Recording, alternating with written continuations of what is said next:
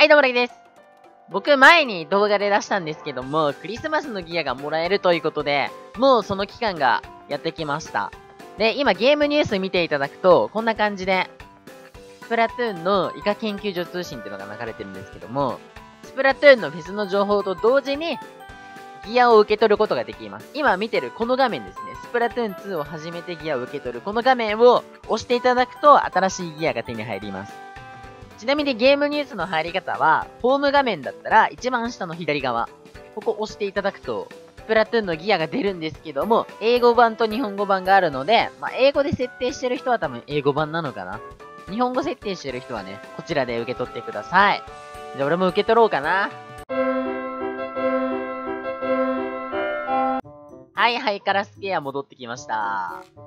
すると、まあね、いつも通りなんですけどね、箱があるんですよ。ここから受け取りましょう。パーティーコーンデコメイン性能。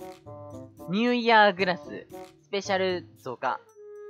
ねじりゴージャス。スペシャル性能アップ。ハッピーチンコ。ハッピーチンアナゴハット。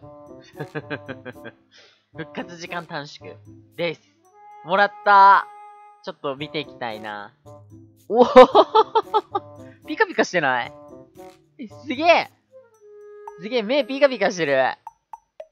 見えますかね？わかりますかね？チカチカしてるの。すごい。こっちは？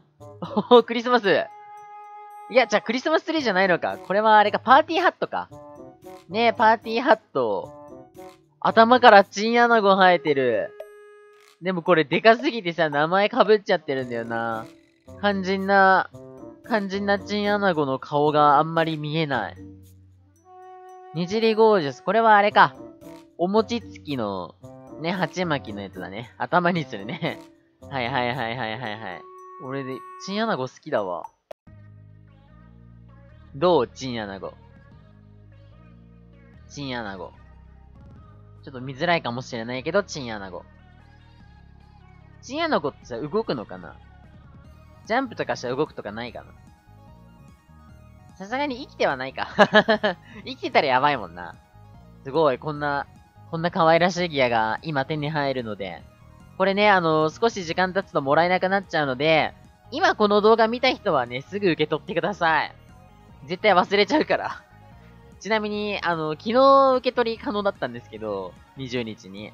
僕忘れて21日になりました。だから本当に忘れちゃうので、うん、今すぐ受け取ってください。ということで、うなチャンネルでした。ありがとうございました。